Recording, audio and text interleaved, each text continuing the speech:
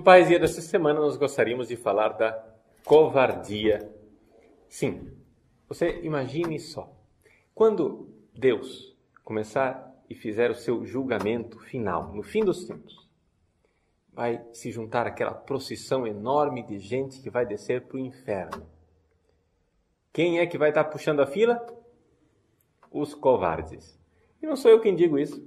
Quem diz isso é o livro do Apocalipse, Veja, no livro do Apocalipse, número 21, capítulo 21, se descreve a nova Jerusalém. Né? A grande visão ali do capítulo 21 diz: Vi então um novo céu e nova terra, pois o primeiro céu e a primeira terra passaram e o mar já não existe. Então, vi também a cidade santa, Nova Jerusalém, descendo do céu junto de Deus, vestida como a noiva enfeitada para o seu esposo. Que beleza! Então, começa a descrever toda a beleza, tudo aquilo que vai ser o paraíso, mas ele, no capítulo anterior, tinha descrito um julgamento final, o juízo final, a derrota de Satanás. Então, depois que ele vai e descreve toda essa beleza da Nova Jerusalém, ele diz o seguinte no versículo número 8, capítulo 21, versículo número 8. Quanto aos covardes, infiéis, corruptos, assassinos, devassos, feiticeiros, idólatras e todos os mentirosos, o lugar deles é o lago ardente de fogo e enxofre, ou seja, a segunda morte. Por que é que São João, ao se lembrar dessa procissão de gente que vai descer para o inferno, se coloca aqui em primeiro lugar o covarde? Por que é que quem encabeça a fila é o covarde? Porque aqui nós estamos diante de uma realidade muito objetiva. Você imagine que tudo o que São João descreveu nesse livro do Apocalipse era aquilo que a igreja estava vivendo no seu início e que a igreja viverá na batalha final, ou seja, haverá muitos mártires. Mas assim como muitos morrerão, muitos irão derramar o seu sangue pelo Cordeiro, por fidelidade ao Cordeiro, na virtude da fortaleza, da coragem, que é o martírio cristão, infelizmente, vai ter aqueles também que covardemente irão amarelar, né? Na hora do vamos ver. Na hora do vamos ver, eles irão se é, entregar ao inimigo. E isto, essa covardia, para os primeiros cristãos, era uma coisa tremenda. E, vamos dizer bem claro, para nós também deveria ser. Então, por isso eu gostaria de falar para vocês hoje a respeito da covardia, para que a gente entenda e veja com clareza qual é a gravidade da covardia. Porque hoje em dia, infelizmente, né, covardia é um negócio que ninguém mais se espanta, porque afinal ela passa até disfarçada como prudência. Né? Não, eu sou uma pessoa muito prudente, eu não quero briga. Né? Ou então passa como pacifismo.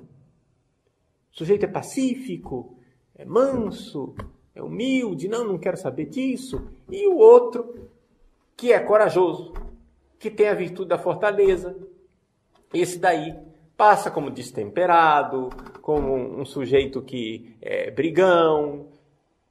A pergunta é a seguinte: nós ainda temos noção do que seja a virtude da fortaleza e do que seja a covardia? O que é o homem corajoso? O que é o homem forte? Qual é a diferença entre o forte e o covarde?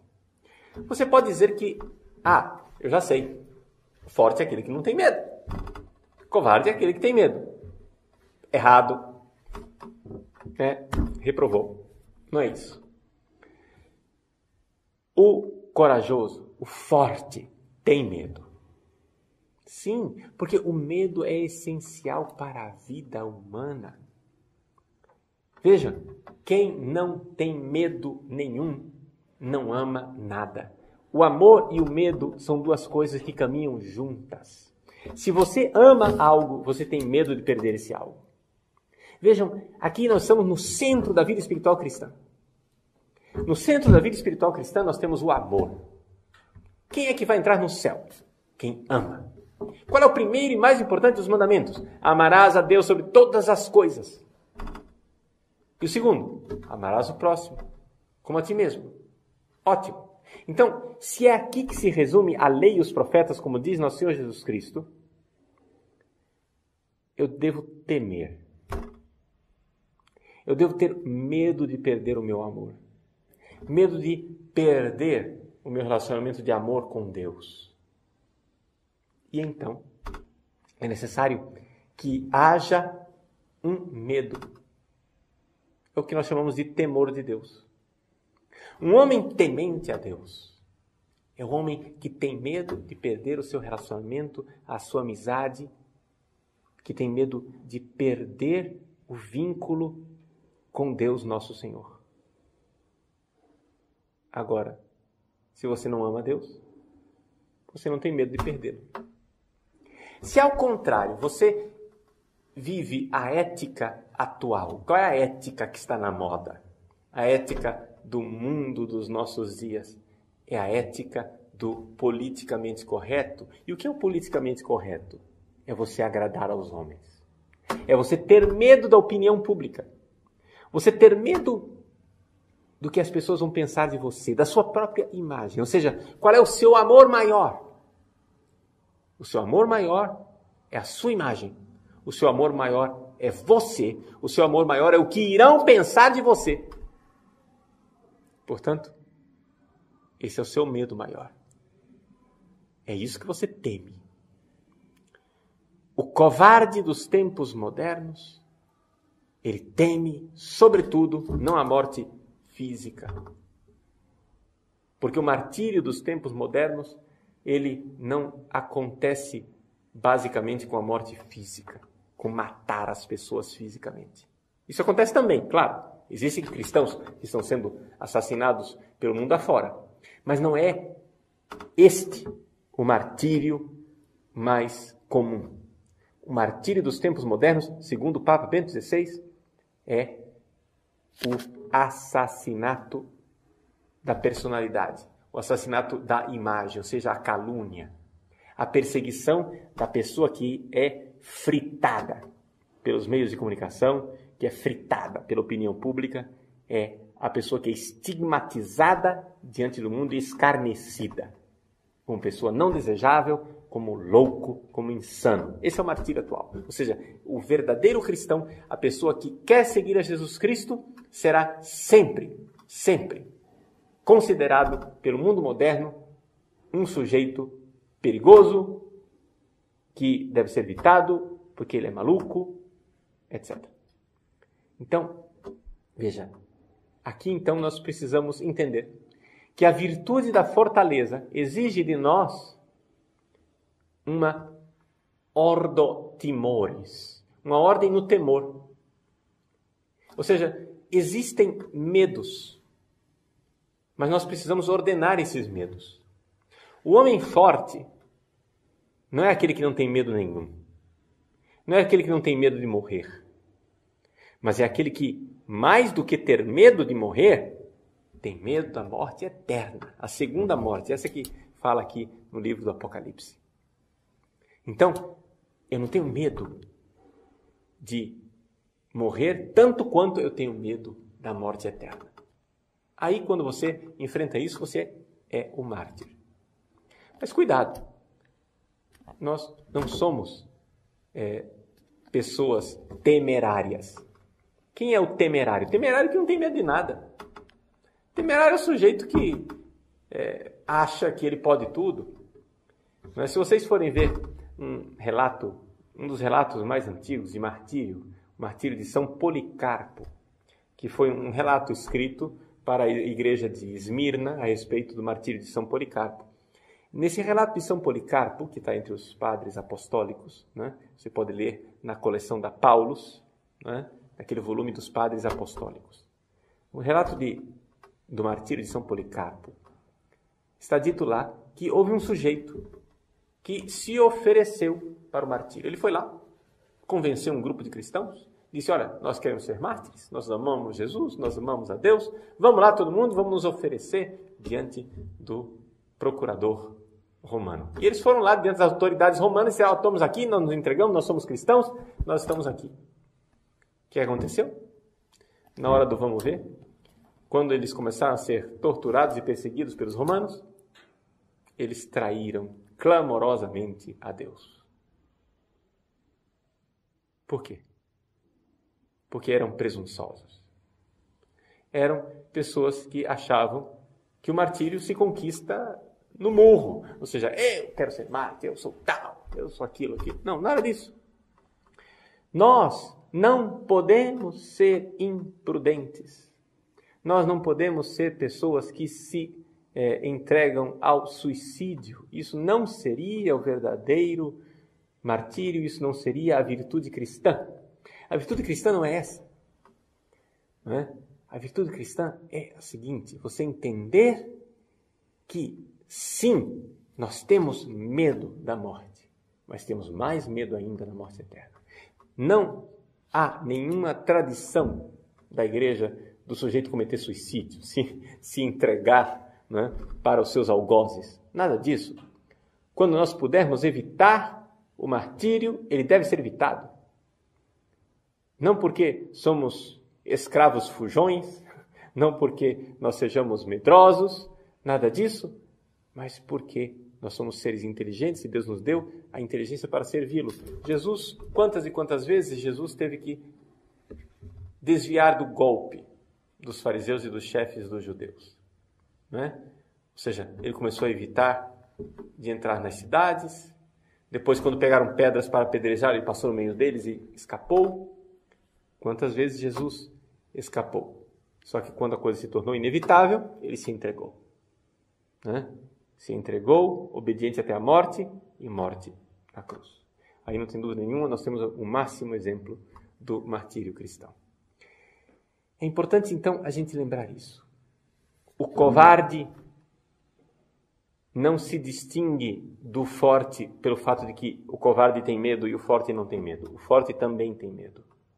Mas o importante é distinguir do que é que eu tenho medo. O covarde tem medo de se perder, no sentido fraco da palavra. O forte tem medo de perder a Deus. Tem medo de desagradar a Deus. É o temor de Deus. Então é por isso que dentro da igreja nós precisamos hoje cultivar a virtude da fortaleza. E a virtude da fortaleza, não é? que combate a covardia, é que nos dará os novos mártires dos tempos modernos. Quem são esses novos mártires? São pessoas que não estão dando a cara a tapa à toa. Não, nada disso.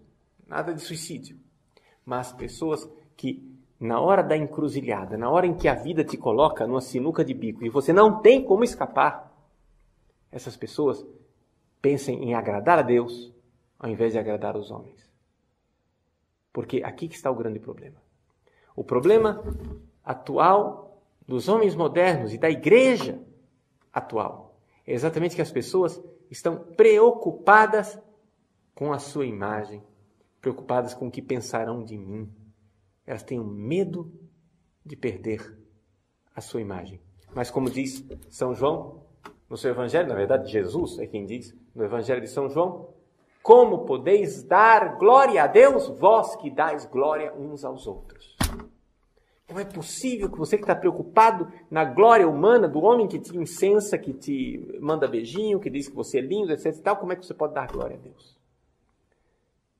Só pode dar glória a Deus aquele que está disposto a jogar o seu próprio nome na lama para dar glória a Deus.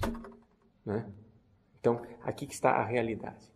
Então, a virtude da fortaleza, da coragem que se opõe à covardia. Isso é muito importante.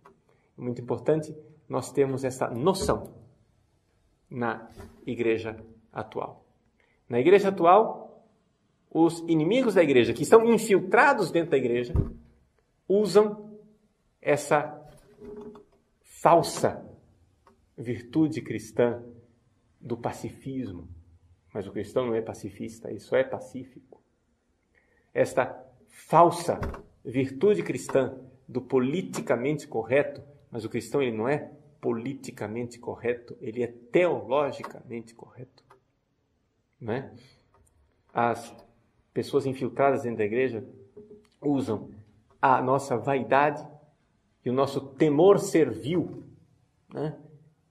o medo de nós nos perdermos, humanamente falando, para fazer com que nós traiamos a nosso Senhor. Então, qual é uma das virtudes mais importantes que hoje um bispo, um padre, um seminarista, um líder da igreja precisa ter? É a coragem. O Papa Bento XVI, quando ele iniciou o seu pontificado, ele teve a sinceridade de dizer para os seus fiéis naquela homilia inaugural: rezem para que eu não tenha medo e não fuja diante do lobo. O pastor sabe que as ovelhas serão atacadas pelo lobo, mas ele deve resistir ao lobo diante disso tudo. Não que a gente vai lá buscar o lobo, né? mas infelizmente o lobo vem e nós precisamos né, fazer isso daí. Então vejam, são duas virtudes que estão esquecidas hoje. Por quê? Porque parece que nós estamos vivendo um certo contentamento burguês, né? Contentamento burguês é o seguinte: no mundo, ah, o mundo não tem maldade, o mundo é, é, é lindo, o mundo é belo, o mundo é uma gracinha, o mundo é uma fofura. Então, se o mundo não tem o mal, então duas virtudes desaparecem: a virtude da temperança, que é a virtude que combate o mal dentro de mim, e a virtude da fortaleza, que é a virtude que combate o mal fora de mim. A temperança e a fortaleza elas existem porque o mal existe. O mal existe no mundo. E o mal existe entre aqueles que aparentemente se apresentam como fiéis da igreja. Né? Ou seja, os lobos em pele de ovelhas. Isso é uma realidade que está na igreja desde o início. Os infiltrados, pessoas que se passam por fiéis de Cristo e que estão, na verdade, devorando as ovelhas. É necessário que os pastores tenham a coragem, coragem, para combater o mal.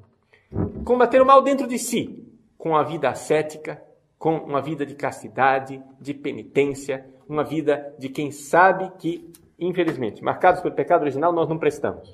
Né? Marcados pelo pecado original, nós temos uma tendência de cair na miséria do nosso pecado. Então, virtude da temperança. Mas um pastor da igreja precisa também ter a coragem, ou seja, a virtude da fortaleza, que sabe que o mal não existe somente dentro do meu coração. O mal existe lá fora também. O mal existe lá fora e os lobos estão levando as ovelhas, as pessoas estão com suas ideias más, com suas heresias, com suas falcatruas, desviando as ovelhas de Cristo para o mau caminho. E como é que se combate esse tipo de lobo? Com o diálogo pacífico? É impossível. É impossível. Você não vai chegar e dizer para o lobo: Ó, oh, seu lobo, você não acha que você devia é, é, parar de comer ovelha? Aí o lobo vai olhar para sua cara e dizer: E que outro cardápio você me oferece, ô otário? Né? Aí o pastor vai começar a negociar com o lobo e vai dizer: Ó, seguinte, eu vou fazer o seguinte, para você parar de devorar as ovelhas à toa, eu vou fazer um sorteio das ovelhas e aí todo dia eu ofereço para você uma, tá bom? É bela figura desse pastor, né? Que está vendendo as ovelhas para escapar do lobo. Não, nada disso. Nós precisamos ter essa coragem. E é por isso que o cardeal Ratzinger era tão amado pela juventude e pelos católicos. Por quê? Porque ele durante anos, durante anos, exerceu a caridade para com as ovelhas. A profunda caridade do pastor de dizer: olha, gente, tá vendo esse livro aqui, desse teólogo? Isso aqui é lobo, não é pastor, não. Não acredite nele. Tá vendo esse outro livro aqui, ó? Isso aqui é o lobo falando, não é o pastor, não. Cai fora. Ratzinger fez isso durante anos e pretendia morrer tendo feito isso somente. Ratzinger nunca tinha pensado em ser papa. Ele foi prefeito da Congregação da Doutrina da Fé de 1981 até 2005 e já pensava que com o próximo papa ele ia pendurar a chuteira e ir para um momento de descanso. Mas Deus pediu a ele muito mais. Nós temos uma profunda gratidão a Deus, em primeiro lugar, por esse pastor extraordinário que ele nos deu. Um pastor que soube enfrentar os lobos na caridade de denunciá-los no meio das ovelhas, os lobos que estavam estraçalhando com o rebanho.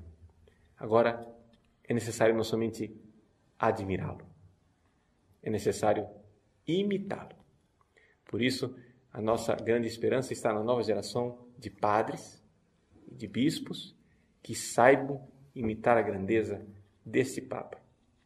A ele, ao Santo Padre Papa Bento XVI, a nossa gratidão, o nosso amor filial e, sobretudo, a nossa oração, como ele pediu, para que ele não fique com medo diante dos lobos que aparecem para estraçalhar o rebanho de Deus.